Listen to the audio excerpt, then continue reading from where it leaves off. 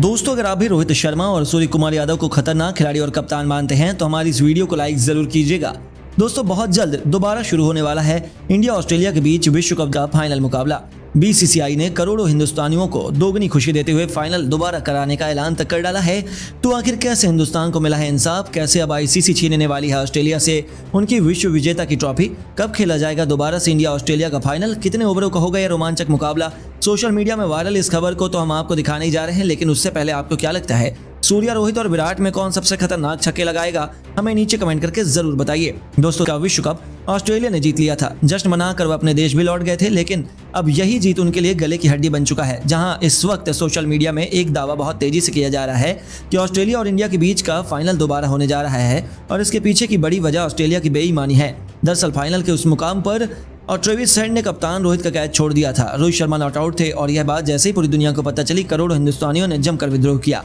ICC से appeal करने से लेकर ऑस्ट्रेलिया के खिलाफ जमकर नारेबाजी हुई और उन्हें अपनी गलती मानने को मजबूर किया जाने लगा। आखिर वो भी क्यों ना? हमारे साथ गलत हुआ था। ऐसे में अब यह बात आईसीसी के कानों में पहुँची तो बीसीसीआई की अपील पर उन्होंने तुरंत इसके खिलाफ जाँच बैठा दी और हाल ही में वह जाँच खत्म हुई और भारत की जीत के साथ ही एक और खुशी सभी के लिए निकलकर सामने आई है। जी हाँ आपको बता दें, सबसे बड़ी खुशखबरी तो यह है कि ऑस्ट्रेलिया को दोषी पाया गया है। आईसीसी का एक ऑफिशियल स्टेटमेंट खूब वायरल हो रहा है। इसके हिसाब से मिली जानकारी के मुताबिक इसमें सारी गलती एम्पायर्स की बताई गई है, क्योंकि उन्होंने बिना सोचे समझे रोहित शर्मा को आउट दे दिया था और उनके विकेट को थर्ड एम्पायर द्वारा चेक भी नहीं करवाया गया।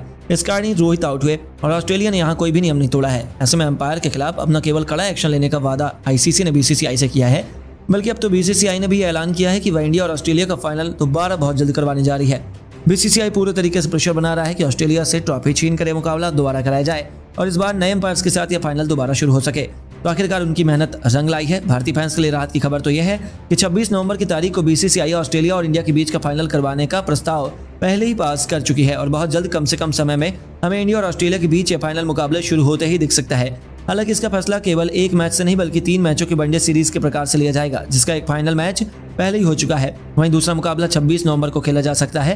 तो इसकी तो पूरी उम्मीद की जा रही है। हालाँकि यह प्रक्रिया बहुत लंबी मानी जा रही है, लेकिन यह तो निश्चित ही हो चुका है कि हमें इंसाफ ज़रूर मिलेगा। इसके बाद तीसरा वनडे मुकाबला बहुत जल्द आयोजित किया जाएगा और इसकी वजह से ऑस्ट्रेलिया और इंडिया के बीच होने वाली पाँच टी मैचों की सीरीज़ पोस्टपोन हो चुकी है और पहले ये दो वनडे मैच खेले जाएँगे और जो भी यह सीरीज़ अपने नाम करेगा, उसे वर्ल्ड कप का चैंपियन माना जाएगा, जहाँ भारतीय खिलाड़ियों के पास भी मौका रहेगा खुद को साबित करने का और ऑस्ट्रेलिया को दिखाने का कि असली वर्ल्ड कप का हकदार कौन है और इसे कोई भी मिस करना नहीं चाहेगा। यानी कि यदि यह फाइनल दोबारा होता है तो यह पहली बार से भी बड़ा होगा और उस पर पूरी दुनिया की नज़र रहने वाली है। सुनने में यह भी आ रहा है कि मेजबान देश भारत के होने की वजह से टीम इंडिया को यह फ़ायदा हो सकता है। तो दोस्तों, अब आपको क्या लगता है कि ऑस्ट्रेलिया बेईमानी से हमसे यह फाइनल मैच जीती है?